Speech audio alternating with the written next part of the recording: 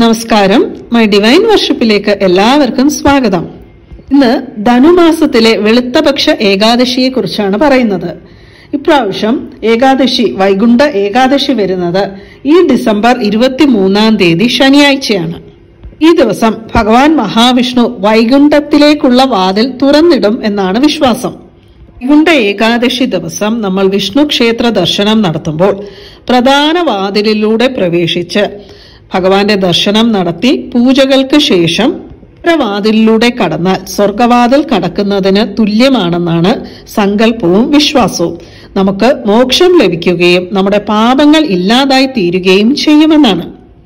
ഇപ്രാവശ്യം മാർഗശീർഷ മാസത്തിലാണ് ഈ ഏകാദശി വരുന്നത്. മാർഗശീർഷ മാസത്തിൽ ശുക്ലപക്ഷത്തിൽ വരുന്ന ഈ ഏകാദശിയെ മോക്ഷത ഏകാദശി എന്നും മുക്കോടി ഏകാദശി എന്നും പറയാറുണ്ട്. ഏകാദശി എന്ന പേര് കൊണ്ട് ഉദ്ദേശിക്കുന്നത് നമുക്ക് ഏതൊരാളാണോ ഈ ഏകാദശി വ്രതം അനുഷ്ഠിക്കുന്നത് അയാൾക്ക് മോക്ഷം ലഭിക്കുമെന്നും അയാൾക്ക് മാത്രമല്ല അയാളുടെ പൂർവികർക്കും മോക്ഷം ലഭിക്കും എന്നുമാണ് അർത്ഥം. മുക്കോടി ഏകാദശി എന്ന് പറയുന്നതിന്റെ കാരണം മുക്കോടി എന്ന് പറയുന്നത് മൂന്ന് കോടി എന്നാണ്. ഇതിന്റെ പിന്നിലുള്ള കാര്യം എന്ന് പറയുന്നത് ഈ ഏകാദശി ദിവസം ബ്രഹ്മദേവൻ മറ്റു ദേവാദി ദേവന്മാരോടൊപ്പം അതായത് മൂന്ന് കോടി ദേവന്മാരോടൊപ്പം വൈകുണ്ഠത്തിലെത്തി മഹാവിഷ്ണുവിനെ ദർശനം നടത്തും. അതും അരുണോദയ സമയത്തെത്തി ദർശനം നടത്തുമെന്നാണ്. അതുകൊണ്ടാണ് ഇതിനെ മുക്കോടി ഏകാദശി എന്ന് പറയുന്നതിന്റെ കാരണം.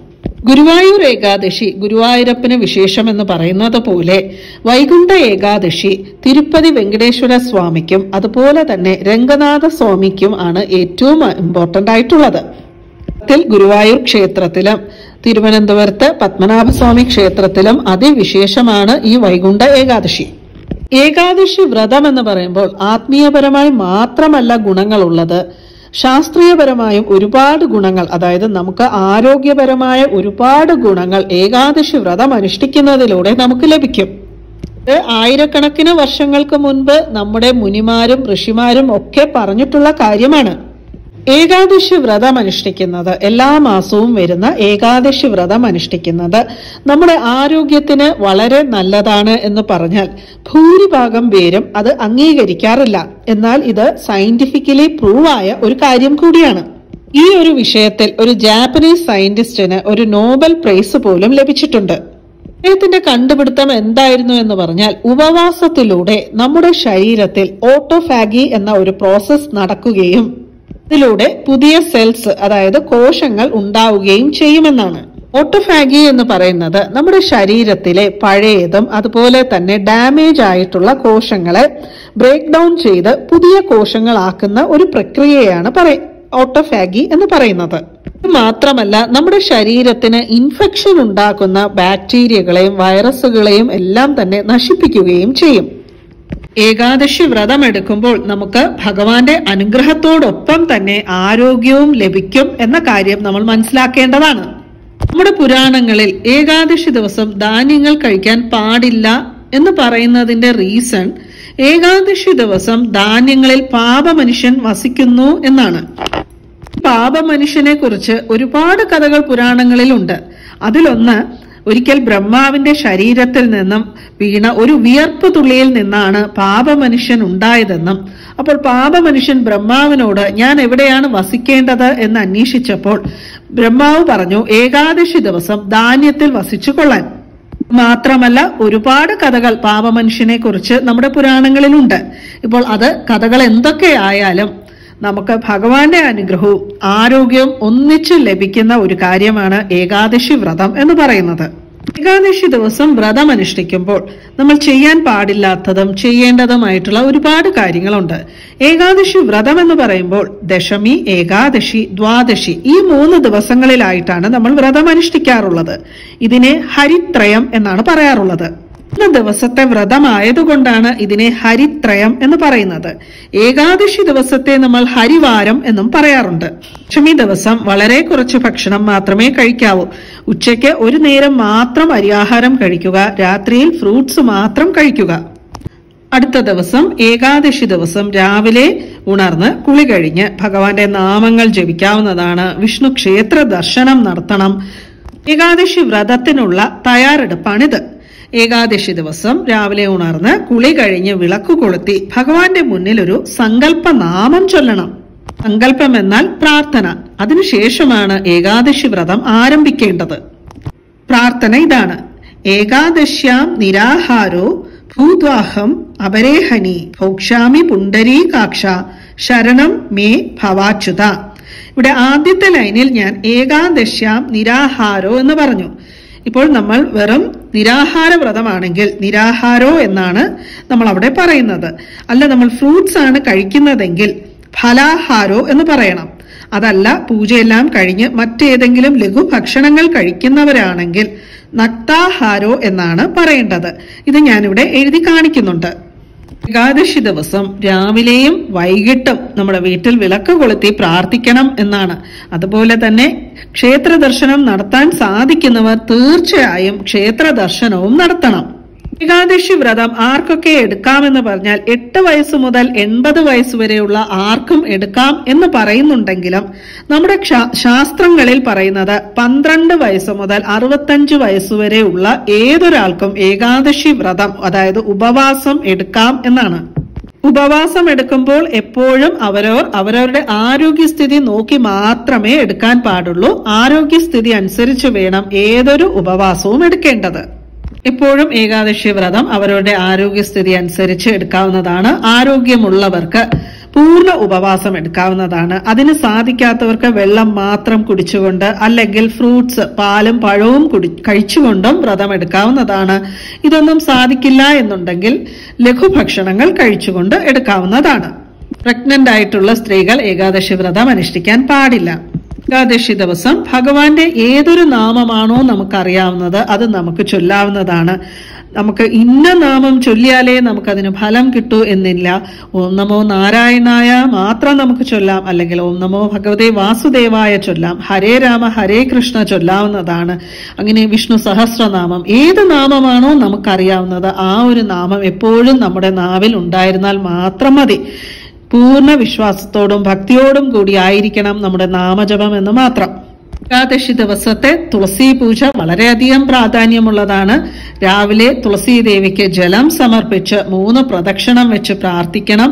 അതുപോലെ തന്നെ സന്ധ്യയ്ക്ക് ഒരു നെയ്ദീപം കൊളുത്തി തുളസി ദേവിയുടെ ചുവട്ടിൽ തുളസി ചെടിയുടെ ചുവട്ടിൽ ഒരു നെയ്ദീപം കൊളുത്തി വെക്കുന്നതും വളരെ ശ്രേഷ്ഠകരമാണ്. തുളസി മന്ത്രം എല്ലാവർക്കും അറിയാമെന്ന് തന്നെ വിചാരിക്കുന്നു. പ്രസീത തുളസി ദേവി പ്രസീത ഹരിവല്ലഭേ ക്ഷീരോത് മദനോദ്ഭുതേ തുളസി ത്വം നമാമ്യഹം. മൂന്ന് പ്രാവശ്യം പ്രദക്ഷിണം വെക്കാം അല്ലെങ്കിൽ ഏഴ് പ്രാവശ്യം പ്രദക്ഷിണം വെക്കാം. അത് ഓരോരുത്തരും എങ്ങനെയാണോ അവരവരുടെ വീട്ടിൽ ചെയ്യാറുള്ളത് അതുപോലെ ചെയ്യാവുന്നതാണ്. ഏകാദശിയുടെ ഏറ്റവും ഇമ്പോർട്ടന്റ് ആയിട്ടുള്ള സമയമാണ് ഹരിവാസര സമയം എന്ന് പറയുന്നത്. ഈ സമയത്ത് ഭഗവാന്റെ പ്രസൻസ് നമ്മുടെ ഭൂമിയിൽ ഉണ്ടായിരിക്കും എന്നാണ്. അതുകൊണ്ട് കഴിവതും ഈ സമയത്ത് ഭഗവാന്റെ നാമങ്ങൾ ജപിക്കുന്നതിനും അതുപോലെ ഭക്ഷണങ്ങൾ ഉപേക്ഷിക്കുക ചെയ്യുന്നതും വളരെ നല്ലതാണ്. അവസര സമയം വരുന്നത് ഡിസംബർ ഇരുപത്തിരണ്ടാം തീയതി അർദ്ധരാത്രി കഴിഞ്ഞുള്ള സമയം. അതായത് ഡിസംബർ ഇരുപത്തി മൂന്നാം തീയതി അതികാലെ ഒന്ന് പന്ത്രണ്ട് മുതൽ ഉച്ചയ്ക്ക് ഡിസംബർ ഇരുപത്തി മൂന്നാം തീയതി ഉച്ചയ്ക്ക് ഒരു മണിവരെയുള്ള സമയമാണ്. ഹരിവാസര സമയം എപ്പോഴും ഏകദേശം പന്ത്രണ്ട് മണിക്കൂർ സമയമായിരിക്കും. ഈ ഹരിവാസര സമയം മുഴുവനും നമ്മൾ ഉറക്കം ഒഴിഞ്ഞിരിക്കണം എന്നില്ല. രാത്രി ആയതുകൊണ്ട് തന്നെ അന്ന് നമുക്ക് കുറച്ച് ബ്രഹ്മ മുഹൂർത്തത്തിൽ തന്നെ ഉണർന്ന് നമ്മുടെ പൂജകളൊക്കെ തന്നെ ചെയ്യാം. പ്രത്യേകിച്ചും ഇപ്പോൾ ധനുമാസം ആയതുകൊണ്ട് തന്നെ ബ്രഹ്മ മുഹൂർത്തത്തിൽ നമ്മൾ ചെയ്യുന്ന പൂജകൾക്കെല്ലാം തന്നെ ഇരട്ടി ഫലം നമുക്ക് ലഭിക്കും. ഏകാദശി എന്ന് പറയുന്നത് പതിനൊന്നാണ്. അതായത് അഞ്ച് ജ്ഞാനേന്ദ്രിയങ്ങളും അഞ്ച് കർമ്മേന്ദ്രിയങ്ങളും നമ്മുടെ മനസ്സും. ഈ പതിനൊന്നും കൊണ്ടാണ് നമ്മുടെ ജീവിതം മുന്നോട്ട് പോകുന്നത്. ഈ പതിനൊന്നും നമ്മുടെ കൺട്രോളിൽ നിർത്തുന്നതിനും നിർമ്മലവുമായിരിക്കുന്നതിനു വേണ്ടിയുള്ള ഒരു വഴി കൂടിയാണ് ഏകാദശി. അഞ്ച് ജ്ഞാനേന്ദ്രിയങ്ങൾ എന്ന് പറയുന്നത് നമ്മുടെ കണ്ണ് മൂക്ക് ചെവി തൊക്ക് നാക്ക്. ഉള്ളത് കൊണ്ടാണ് നമുക്ക് കാണാനും കേൾക്കാനും രുചിക്കാനും ഒക്കെ തന്നെ സാധിക്കുന്നത്. എല്ലാം തന്നെ നമ്മൾ ശുദ്ധമായി വെക്കണം. ഇപ്പോൾ നമ്മുടെ നാക്ക് ശുദ്ധമായി വെക്കുക എന്ന് പറഞ്ഞാൽ ഏകാദശി ദിവസം നമ്മൾ മത്സ്യ മാംസാദികൾ ഒഴിവാക്കുക ലഹരി വസ്തുക്കൾ ഒഴിവാക്കുക വെറ്റിലയുടെ ഉപയോഗം ഒഴിവാക്കുക എന്നിവയാണ്. അതുപോലെ നല്ല കാര്യങ്ങൾ മാത്രം കേൾക്കുക പറയുക ഒക്കെ ചെയ്യുക. ഏകാദശി ദിവസം പൊതുവെ തലയിൽ എണ്ണ തേച്ച് കുളിക്കാറില്ല. അതുപോലെ തന്നെ മുടി വെട്ടുക നഖം വെട്ടുക ഇങ്ങനെയുള്ള കാര്യങ്ങൾ ഒന്നും തന്നെ നമ്മളൊരു വ്രതം എടുക്കുമ്പോൾ ചെയ്യാൻ പാടില്ല. ദശമി മുതൽ ദ്വാദശി വരെയും മത്സ്യ മാംസാദികൾ ഒഴിവാക്കണം ബ്രഹ്മചര്യവും പാലിക്കണം. ഏകാദശി വ്രതം അനുഷ്ഠിക്കുമ്പോൾ നമ്മുടെ ജ്ഞാനേന്ദ്രിയങ്ങളും കർമ്മേന്ദ്രിയങ്ങളും മനസ്സും ഒരുപോലെ തന്നെ നമ്മുടെ കൺട്രോളിലായിരിക്കണം. ഏകാദശി വ്രതം അനുഷ്ഠിക്കുമ്പോൾ പാർണ വീടുന്നതിനും വളരെയധികം ഇമ്പോർട്ടൻസ് ഉണ്ട്. പാർണ വീടുക എന്ന് പറഞ്ഞാൽ വ്രതം അവസാനിപ്പിക്കുക എന്നാണ് അർത്ഥം. തുളസി തീർത്ഥമോ അല്ലെങ്കിൽ ഒരു ഗ്ലാസ് വെള്ളത്തിൽ കുറച്ച് ഉണക്കലരിയോ ഇട്ട് നമുക്ക് പാർണ വീടാവുന്നതാണ്. ഇനിയിപ്പോൾ ചിലപ്പോൾ തുളസി ഇലകളൊന്നും കിട്ടാത്തിടത്താണ് നിങ്ങൾ താമസിക്കുന്നതെങ്കിൽ ഒരു ഗ്ലാസ് ശുദ്ധമായ ജലമെടുത്ത് അത് തുളസി തീർത്ഥമായി സങ്കല്പിച്ചുകൊണ്ട് നമുക്ക് ആ വെള്ളം സേവിച്ച് പാരണ വീടാവുന്നതാണ്. ഇപ്രാവശ്യം പാരണ വീടേണ്ട സമയം എന്ന് പറയുന്നത് ഡിസംബർ ഇരുപത്തിനാലാം തീയതി ഞായറാഴ്ച രാവിലെ ആറ് ഇരുപത്തിനാല് മുതൽ ഏഴ് ഒൻപത് വരെയുള്ള സമയമാണ്. Six twenty four A M to seven nine A M നമ്മുടെ എല്ലാവരുടെയും വിശ്വാസം. വൈകുണ്ഠ ഏകാദശി ദിവസം ക്ഷേത്ര ദർശനം നടത്തി. അന്ന് ക്ഷേത്രത്തിൽ വലിയ ക്യൂ ആണ്. ആ ക്യൂവിൽ നിന്നാണ് നമ്മൾ ക്ഷേത്ര ദർശനം നടത്തി. ആ ഉത്തരവാതിലിലൂടെ അതായത് വടക്കു വശത്തുള്ള വാതിലിലൂടെ നമ്മൾ ഇറങ്ങിയാൽ നമുക്ക് വൈകുണ്ഠത്തിൽ എത്താൻ സാധിക്കും എന്നുള്ള ഒരു വിശ്വാസം. അത് ശരിയാണോ ഇല്ലയോ എന്നുള്ളത്. ക്ഷേത്രത്തിലെ വടക്കേ ദ്വാരത്തിലൂടെ ഇറങ്ങുന്നത് വഴി അതായത് വടക്കു വശത്തെ വാതിലിലൂടെ ദർശനം കഴിഞ്ഞ് ഇറങ്ങുന്നത് വഴി നമുക്ക് മോക്ഷം ലഭിക്കുമോ ഇല്ലയോ എന്ന് ചോദിച്ചാൽ തീർച്ചയായും നമുക്ക് മോക്ഷം ലഭിക്കും. പക്ഷേ ഒരേ ഒരു കണ്ടീഷനിൽ മാത്രമേ മോക്ഷം ലഭിക്കുകയുള്ളൂ. എന്താണെന്ന് പറഞ്ഞാൽ നമ്മൾ ഈ നോർത്ത് സൈഡിലുള്ള ആ വാതിലിലൂടെ ഇറങ്ങുമ്പോൾ അതിന് മുകളിലായിട്ട് നോക്കുമ്പോൾ നമുക്ക് കാണാൻ സാധിക്കും രണ്ട് അസുരന്മാരുടെ രണ്ട് പ്രതിമകളോ അല്ലെങ്കിൽ ചിത്രങ്ങളോ അവിടെ ഉണ്ടായിരിക്കും. ആ വടക്കേ ദ്വാരത്തിന് മുകളിലായിട്ട്. ഈ അസുരന്മാർ ആരാണ് എന്താണ് എന്ന് മനസ്സിലാക്കിയാൽ നമുക്ക് മോക്ഷം ലഭിക്കും. ഈ അസുരന്മാർ മധു കൈടഭന്മാരാണ്. ഭഗവാനാണ് വധിച്ചത്. അപ്പോൾ ഭഗവാൻ ഇവരെ വധിക്കുന്നതിന് മുൻപ് ഇവർ ഭഗവാനോട് അപേക്ഷിക്കും. ഞങ്ങൾക്ക് വൈകുണ്ഠത്തിലേക്ക് പോകാൻ സാധിക്കണം. അതിന് അങ്ങ് അനുവദിക്കണം എന്ന്. ഭഗവാൻ വൈകുണ്ഠത്തിലെ വാതിൽ തുറന്നു കൊടുക്കുകയും അവർക്ക് ആ വാതിലിലൂടെ വൈകുണ്ഠത്തിലേക്ക് പോകാൻ സാധിക്കുകയും ചെയ്തു. ആ ദിവസമാണ് സ്വർഗവാതിൽ ഏകാദശി അല്ലെങ്കിൽ വൈകുണ്ഠ ഏകാദശി എന്നും പറയപ്പെടുന്നുണ്ട്. അങ്ങനെയാണെങ്കിൽ നമ്മൾ ചെയ്യാൻ പാടില്ലാത്ത കാര്യങ്ങളൊക്കെ തന്നെ ചെയ്തിട്ട് നമ്മൾ ഈ ഉത്തരവാതിലിലൂടെ ഇറങ്ങിയാൽ നമുക്ക് മോക്ഷം ലഭിക്കുമോ എന്ന് വെച്ചാൽ ഈ മതവും കൈടഭനും പുരാണങ്ങളിലുള്ള അസുരന്മാരാണ്. എന്നാൽ നമ്മൾ എല്ലാ മനുഷ്യരിലും ഈ രണ്ട് അസുരന്മാരും ഉണ്ട് എന്നാണ്. അതായത് മധു എന്നാൽ തേനാണ് കൈടഭൻ എന്നാൽ ചിത്രശലഭം. ഓരോ മനുഷ്യന്റെ ഉള്ളിലുമുള്ള തേൻ എന്ന് പറയുന്നത് ഞാനാണ് ഞാൻ. അതുപോലെ ചിത്രശലഭം എന്ന് പറയുന്നത് എന്റെ. ഞാൻ എന്റെ. തേൻ ഞാനും കൈടഭൻ എന്റെയുമാണ്. എന്റെ എന്ന് പറയുമ്പോൾ എന്റെ വീട് എന്റെ കാറ് എല്ലാം എന്റെ എന്റെ എന്റെ എന്നുള്ളത്. ഈ ജനിച്ചു വീഴുമ്പോൾ ഞാനെന്ന ഭാവവുമില്ല എന്റേതെന്ന ഭാവവുമില്ല. അതുകൊണ്ടാണ് നമ്മൾ പറയുന്നത് കുട്ടികളെല്ലാം ദൈവസ്വരൂപമാണ് എന്ന്. ഞാനെന്ന ഭാവവുമില്ല എന്റേതെന്ന ഭാവവുമില്ല. കുറച്ച് വലുതായി കഴിയുമ്പോൾ കുട്ടികൾക്ക് ഞാൻ അല്ലെങ്കിൽ എന്റേത് എന്നുള്ള ആ ഒരു ചിന്താഗതി ഉണ്ടാകാൻ തുടങ്ങും.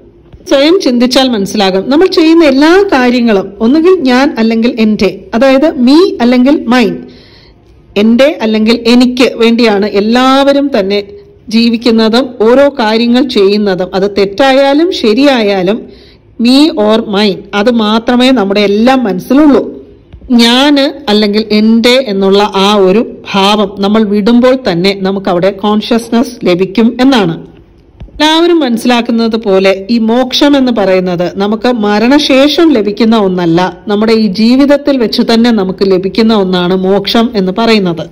ചിത്രത്തിൽ ഇരിക്കുന്ന ആ രണ്ട് അസുരന്മാർ അതായത് മതവും കൈടഭനും നമുക്ക് എന്താണ് പറഞ്ഞു തരുന്നത് എന്ന് പറഞ്ഞാൽ ഞാൻ എന്റെ എന്ന ഈ രണ്ട് കാര്യങ്ങളും നമ്മൾ ഉപേക്ഷിച്ചിട്ട് വേണം നമ്മൾ ഭഗവാനെ ദർശിക്കാൻ എന്നാണ്. എല്ലാവർക്കും ഈ വീഡിയോ ഇഷ്ടപ്പെട്ടു എന്ന് വിശ്വസിക്കുന്നു. വീണ്ടും മറ്റൊരു വീഡിയോയുമായി കാണാം. നന്ദി നമസ്കാരം.